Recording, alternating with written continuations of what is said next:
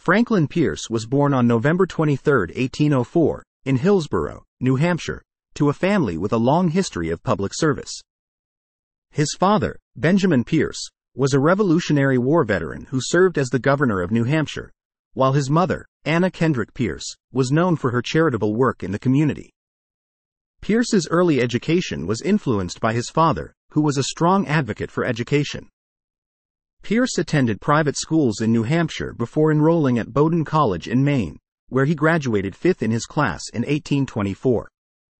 After college, Pierce returned to New Hampshire and began studying law. In 1827, he was admitted to the bar and began practicing law in Hillsborough. It was during this time that Pierce became involved in politics, initially through his work with the Democratic Party in New Hampshire.